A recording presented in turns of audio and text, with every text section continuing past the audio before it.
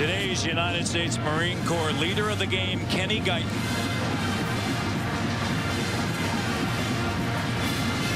Elected team captain. Third most votes, Urban Meyer was telling us. He tells you about the personality and the makeup of the young man. Jordan Hall cuts it back up.